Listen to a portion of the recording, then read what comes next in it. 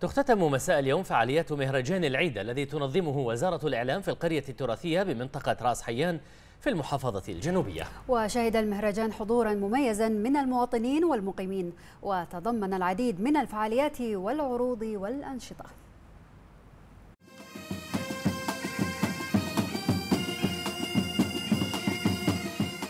فرحة عيد الفطر تعود للمرة الأولى منذ عامين بلا قيود كورونا.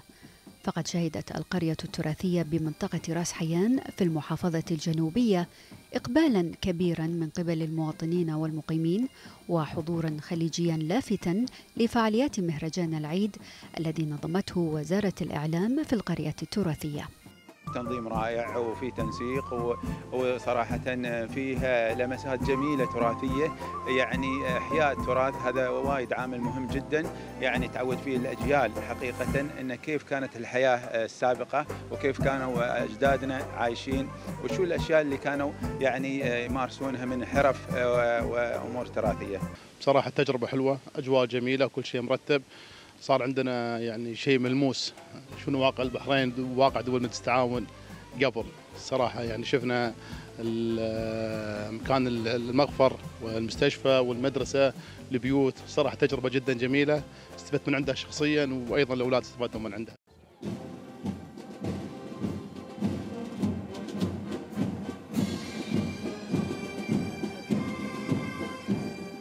وقد أشاد الحضور من المواطنين والأشقاء الخليجيين بفعاليات المهرجان التي اشتملت على مجموعة من البرامج المسلية والممتعة. ارتبطت ارتباطا وثيقا بالتراث البحريني الأصيل كما قدمت العروض الفنية من قبل الفرق الشعبية. من خلال فقرات فنية تعكس تراث مملكة البحرين العريق وموروثها الشعبي.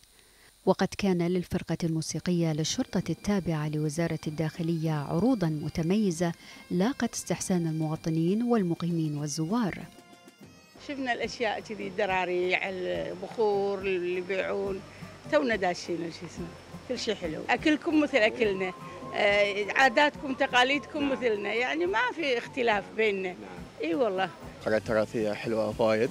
وحلو الواحد يتعرف على الأشياء القديمة في البحرين وعن الأشياء اللي في البحرين كما شهد المهرجان برامجا ترفيهية مخصصة للأطفال ومشاركة أصحاب الأعمال والأسر المنتجة والعديد من الأنشطة المصاحبة في مشهد آسر يترجم عودة نبض الحياة وبهجة الأعياد إلى طبيعتها.